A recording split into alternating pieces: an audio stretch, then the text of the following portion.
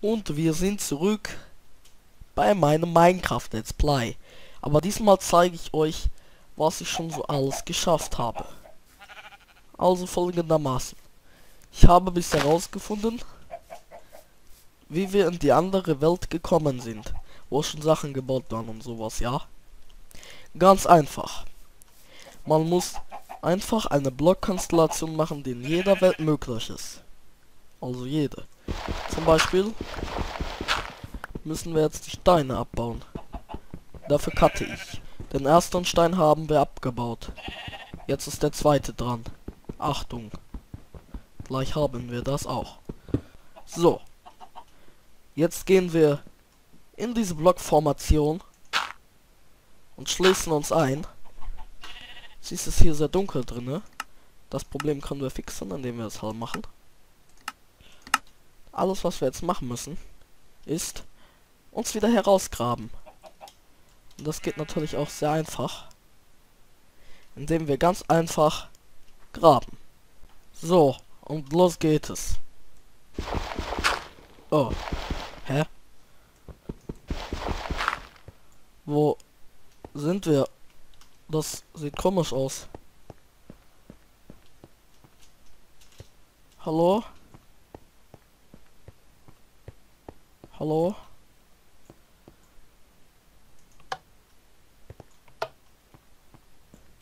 Das macht nichts. Hier sind Bäume. Also wir können überleben. Aber ich will gar nicht in diese Welt. Was ist das denn? Oh, da liegen Sachen. Nein! Nein! Nein! Nein. Wir müssen weg hier. Schnell weg. Äh, ab in die nächste Welt. Wir können hier nicht bleiben. So, wir werden uns jetzt wieder rausbuddeln. Hä? Ich glaube nicht, dass das die Welt ist, die ich haben will. Oder? Ja! Oh, wir haben es geschafft. So, und damit herzlich willkommen zu einer Servertour. Zuallererst stellen wir das FOV auf 100. Und so kann ja niemand spielen. Ähm, ja, wo fangen wir denn an? Ich würde sagen, ich gehe direkt mal zum Spawn. Das cutte ich raus. Ähm, weil die Reise dorthin vielleicht ein bisschen langweiliger ist.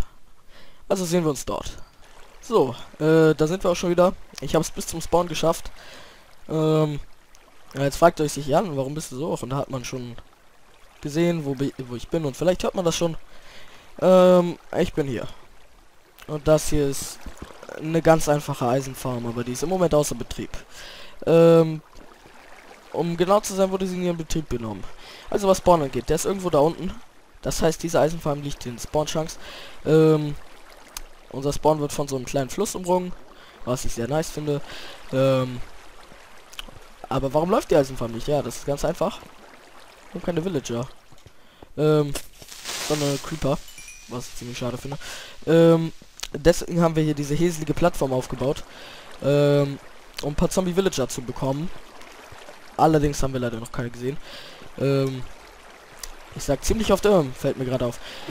Wir haben allerdings ähm, schon öfter versucht, Zombie-Villager zu kriegen. Wir sind da schon ziemlich oft gewesen und mit wir meine ich äh, Maya und ich. Jetzt wisst ihr wahrscheinlich nicht, wer Maya ist.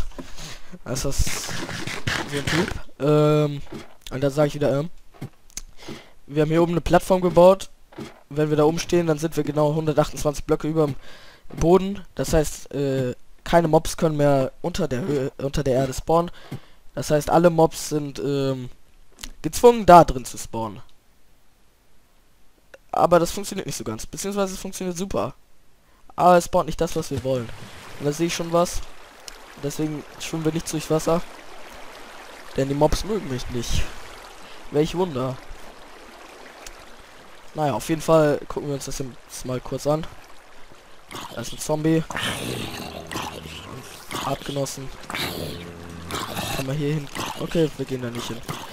Ähm, so, weiter im Text. Äh, und ich sage echt oft, äh, ich habe Federfallschuhe. Sollte nicht so schlimm sein, aber wir fallen hier nicht runter. Ähm, und das ist er wieder. Ich sollte langsam aufhören, das zu kommentieren. hier ist auf jeden Fall mein Inventar. Ähm, hm. hier ist, äh, hier sind ein paar Eisenstangen und so weiter, die man normalerweise nicht im Inventar hat, aber jetzt fragt ihr euch wahrscheinlich, warum hast du das Inventar? Ähm, oh Gott. Es wird Nacht. Das zeige ich euch, denn auf einem Minecraft-Server wird auch gebaut, welch Wunder.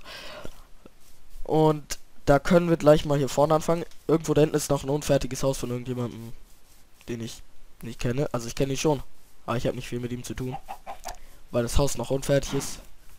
Werde ich da jetzt nicht hingehen, weil das schon eine Weile weg ist. Von hier aus vielleicht eine Minute. Äh, hier ist ein Berg. Und dieser Berg ist handgemacht von mir. Mit einem Ding, mit einem Häuschen. Äh, eine Art Pseudo-Fischer. Also es, es, es ist eine Art Fischer. Hier war nämlich dieser See und ich wollte irgendwas dahin klatschen, weil die anfängliche Idee für diesen Server war, eine Stadt zu bauen.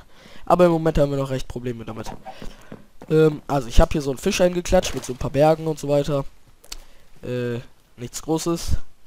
Und da hinten sehen wir auch schon ein Haus und ein paar Höhlensysteme. Äh, Trick. F3 und A lädt die ganzen Chunks neu. Äh, da hinten ist auf jeden Fall ein Haus. Und bevor es irgendeiner meiner Freunde kommentieren muss, ja, das habe ich nicht selber gebaut. Also ich habe schon selber gebaut, aber ich habe es kopiert von jemandem. Also das Design. Äh, wir werden jetzt auf jeden Fall darüber gehen. Und ich sehe euch drüben. So, und jetzt sind wir schon fast da. Meine FPS gehen drastisch auf 30 runter. Ähm, der Cut gerade eben war vielleicht etwas ungünstig gesetzt, denn man hat gerade so gesehen, wie diese Lavalampe hier runtergeht. Ähm, die Idee von der Lavalampe habe ich von Minecraft Reddit. Scheiß drauf. Ähm, dieser Zaun hingegen, da war meine Idee, nur das Haus da nicht. Der Vorgarten schon. Ähm, und dann musste ich hier maßstabsgemäß hinschreiben, Kerales Design. Und ganzen Material. Und da haben wir auch schon ersten Besucher. Ja, ich werde dieses Let's Show nicht alleine kommentieren. Wir noch ein paar Zischen und Stöden. Da. Da habe ich ein Zombie Village eingesperrt. Ähm, hier haben wir ein Haus, ziemlich leer, ein Kuchen, lecker Schmecker. Äh, Pumpkin Pie. Und ein Keller. Der Keller ist jetzt nicht das größte, er ist ein bisschen bunt. Ähm, hier haben wir eine Map.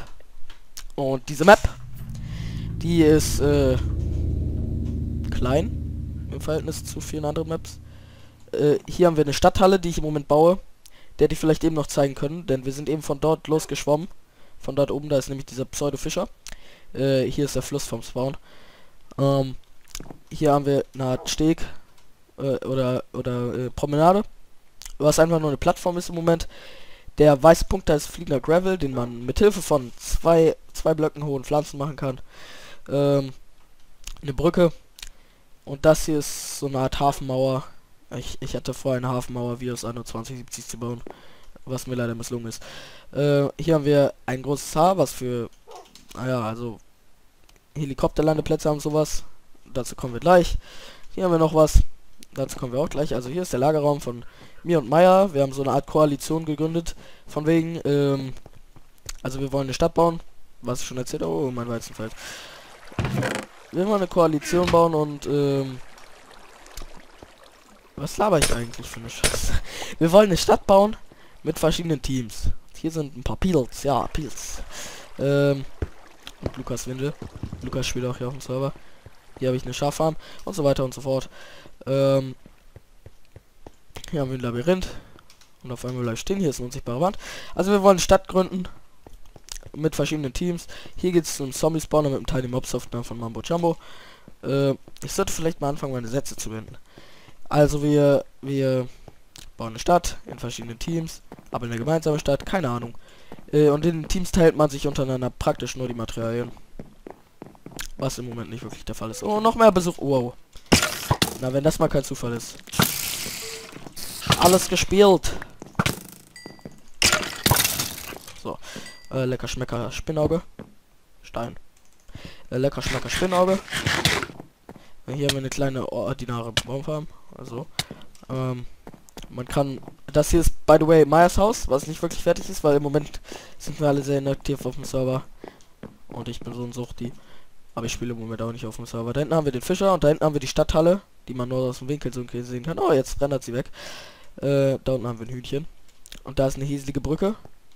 Äh, das ist nur eine Notlösung. Und die ist gerade ein bisschen komisch beleuchtet. Ja, Backcraft halt. Äh, also Meyers unfertiges Haus, da oben kommt noch eine Glaskuppel drauf, glaube ich. Ähm, und dann geht es auch direkt schon weiter. Hier haben wir einen Pool mit ein paar Lapisblöcken, lecker Schmecker. Eine Kuhfarm, das Gehege hier war schon mal so überfüllt, dass das Server abgestürzt ist. Auch wenn mein PC jetzt nicht gerade so schlecht ist. Ähm, jetzt nehmen wir hier Stangen, lecker Schmecker. Ich hätte vielleicht schlafen sollen. Ach egal. Ähm, ich höre einen Zombie, da hinten ist er auch schon. Dann gehen wir mal kurz zur Stadthalle. Ähm, ich bin für gewöhnlich nicht gut im Bauen, aber ich finde die Stadthalle ganz nice. Ja, ich finde sie ganz nice. Die Brücke hier habe ich gebaut. Die ist jetzt auch nicht gerade so wunderschön, aber ähm, hier haben wir besagten Steg. Promenade-Ding. Und besagte Hafenmauer, wo noch ein paar Dinger fehlen. Zäune. Äh, hier wollte ich hier wollte ich so ein Türmchen bauen. So ein Abwehrturm, wo man so reingehen kann. Allerdings ist der ziemlich groß geworden, ziemlich mh, mm, ziemlich fett. Äh, ich lasse ihn vielleicht so, ich lasse ihn vielleicht nicht so. Auf jeden Fall ist man hier oben von Mob sicher, vor Mob sicher. Wie auch immer. Oh, Freunde. Oh, Zombie Villager. Ja, die Zombie Villager, Villager spawnen immer hier oben.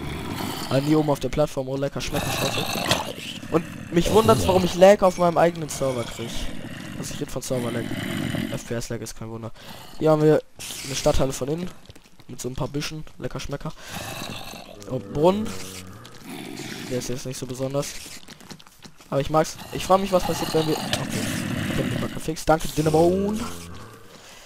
Ähm. Und jetzt ist das dann wieder da. Noch ein bisschen Pumpkin Pie. Und wir laufen die Straße lang. Ähm, auch wenn auch wenn wir viel Essen haben, also hier von wegen Meier und ich, habe ich irgendwie immer Probleme mit Essen. Also ich habe jetzt vielleicht 31 Pumpkin Pie, was so gut ist wie Steak. Aber trotzdem. Die Brücke hier habe ich gebaut. Die Lichter da unten gehen nur an, ähm, wenn es Nacht ist. Machen aber kein Licht zur Außenwelt, auch wenn es jetzt so aussieht, aber das ist ein Lightbug. Jetzt sieht man hier, hier ist dunkel, wenn ich die Slab wegmache. Hell. Ist das nicht schön? Finde ich auch. Ähm, nee, ich mag den Effekt, von daher. Aber die Brücke finde ich noch nicht so geil. Und hier erkennt man wahrscheinlich schon, was es ist. Wahrscheinlich nicht bin mir ziemlich sicher, dass man es nicht erkennen wird. Ich habe es selbst nicht erkannt. Es ist, also ich, ich, ich muss mich jetzt auch nicht gucke kein How I Met Your Mother. Also ich weiß, wie die Leute da heißen, aber ich gucke die Sendung nicht. Ähm, das hier ist ein Gebäude von Lukas und Philipp. Spielen beide auf dem Server. Welch Wunder. Ähm, und laut denen ist es das sogenannte McLaren's. Also eine Bar, wo die Leute da halt immer hingehen. Und so weiter. Ähm, das es sieht wunderschön aus, ist auch total sicher. Hier kommen wir zu zu Philips Haus, also ähm, wir nennen es Philips Haus. Auch wenn da irgendwie vier oder fünf Leute wohnen, fünf. Ähm, es wären Philipp, welch Wunder, äh, Lukas, äh, so ein Typ namens Daniel, äh, so ein Typ namens Jan, genau wie ich, aber ich bin nicht der, das ist ein anderer Jan. Hat mir mal einen Namen geklaut. Nein. Ähm, und die haben hier so einen schicken Lagerraum, wie man es nimmt. Und eine Spinne, die auf Speed ist. Gibt's die Speed. Ähm, hier haben die einen Hebel. Und der ist dazu da, dass... Ach ja, Bjarne wohnt ja auch noch drinne. Bjarne ist so ein Lappen. Nein, ist er nicht, er ist cool. Ähm, achte mal auf die Tür da hinten. Auf, zu, auf, zu, auf, zu. Das ist dazu da, um Bjarne daran zu hindern, dass er hier reinkommt, haben sie mir zumindest gesagt, weil nicht diesen Amboss benutzen soll. Ähm, das respektiere ich auch, weil niemand will, dass einem der Amboss geklaut wird. Und keine Ahnung, ob man Bernie vertrauen kann. Ich glaube schon. Bernie ist ein ganz okayer Typ. Ich rede ein bisschen zu viel über Bernie und da müssen wir schon wieder was essen. Ich habe 25 Level, sehe ich gerade. Ich sollte vielleicht bald mal verzaubern gehen.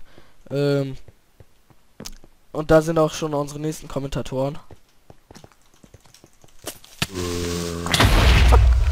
Äh, ich meine, ich meine, ups. Aber das lässt sich fixen. Ähm, sehr einfach sogar. Mach hier Fackel, mach da Fackel. So, äh, hier haben die so ein schönes Gemälde von einem Wither. Äh, also die wollen so eine Luxusvilla bauen, wie Tony Stark hat. Also Mr. Iron Man. Ähm, keine Ahnung. Sieht gut aus. würde ich sagen, mit dem ganzen Weiß. Was mich nur wundert, ist, dass sie Wolle benutzen und da Quarz. Auch wenn ich das Quarz eigentlich benutzen könnte. Nein, ich brauche das Quarz nicht. Ah, vielleicht doch. Ähm. Ups. So. Ich würde sagen, wir schauen uns mal im Haus um. Das ist ein Raum. Der Raum hat ein Loch. Der Raum hat kein Loch. Oh, sie haben das Loch gefixt. Sehr schön. Ähm. Der nächste Raum, das Full Special, weil den habe ich eingerichtet. Für jemanden, ähm, auf dem Server, und zwar Lukas, weil der ist so ein Hydropi, so ein Mudkip-Fighter. Und Mudkips mögen Wasser. So habe ich seinen Raum geflutet. Mit oder weniger mit Erlaubnis. Mehr oder weniger mit Erlaubnis. Ähm, hier haben die so eine Enchantment Table. Scheiß drauf. Eine leere Kiste. Mein Lieblingsraum und ein Balkon. Dann ist unser nächster Kommentator. Ähm, ich hoffe, die haben ihre Mikros an. Beziehungsweise nehmen die Mikros mit auf. Audiospur halt. Äh, das hier ist deren altes Lager. Oh, nächster Kommentator. Yay! Man sieht, die leuchten das hier schön aus. Lecker Schmecker. Ähm, ich würde sagen, also die haben gesagt, die wollen den Raum nicht mehr und so sieht das auch aus. Ähm, und jetzt schauen wir mal auf deren Dach. Da haben sie so einen schönen Canopy Tree, beziehungsweise Dark Oak, glaube ich, heißt der. Hier sehen wir auch die Helikopterplattform in ihrer wahren Größe. Ähm, in ihrer wahren Größe, ja. Dann sehen wir das Ganze hier nochmal von oben. Und dann sehen wir noch ein paar Schafe, eine Kürbisfarm, eine Reed Farm, hier Zeug, hier so Zuckerer, eine Weizenfarm, wo auch äh, auf das schüchterne Weizen oder wie ich das Video genannt habe aufgenommen wurde. Ich weiß gar nicht, ob ich das Video auf nicht gelistet habe. Vielleicht habe ich es. Falls ich das habe, dann wird das heute öffentlich. An dem Tag, wo ich das hier uploade. Ähm, das ist im Prinzip alles, was wir zu unserer Stadt haben. Was das Straßensystem angeht, wir haben keins. Wir haben nur ein Straßendesign. Und das ist jetzt auch wirklich nicht so reich. Wie man hier sieht. Äh, pro Meter zwei, zwei Stonebrick Stairs. Wow, leck. Äh, zwei Stonebrick Stairs. Das könnte meine Aufnahme unterbrochen haben und drei Cobblestone Slabs. Ähm, jetzt muss ich euch noch den Geheimsnort der Geheimlichkeit zeigen.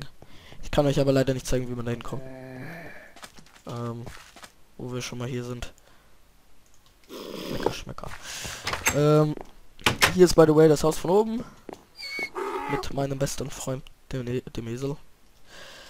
Also gehen wir wieder nach unten. Essen ein bisschen Pumpkin Pie. Und das hier war unsere erste Höhlentour, Maya und meine. Die war genau hier, als ich den Keller buddeln wollte. Äh, ich habe gesagt, ja, Maya, ich mache jetzt mal ein bisschen Speed Mining. Ich renne in die erst, in, ich renne den, äh, den ersten Zweig der Höhle. Direkt Diamanten gefunden.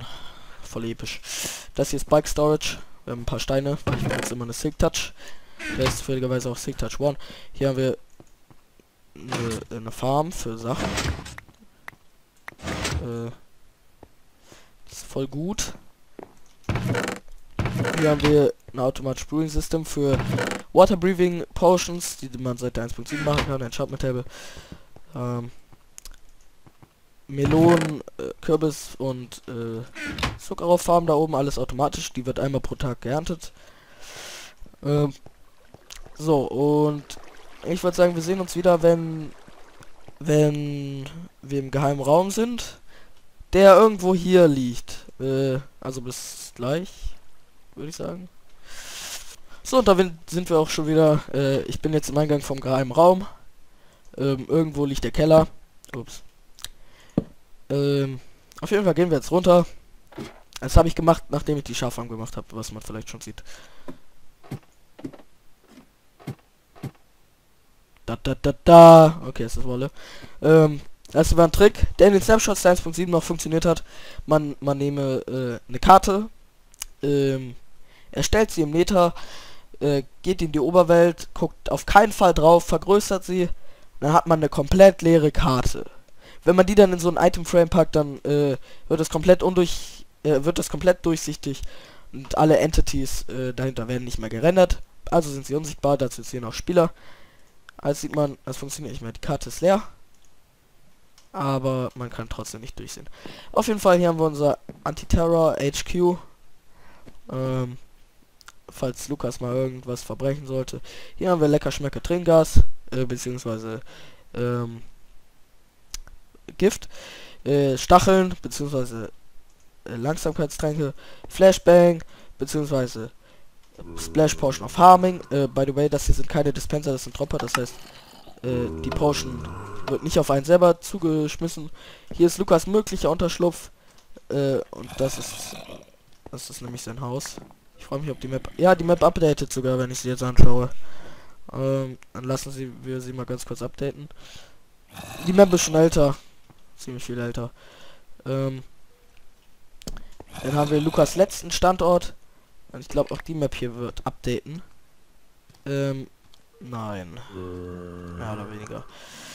Egal. Ähm, dann haben wir hier ein Teleport-Orb, äh, was Enderperlen sind. Haben wir ein paar.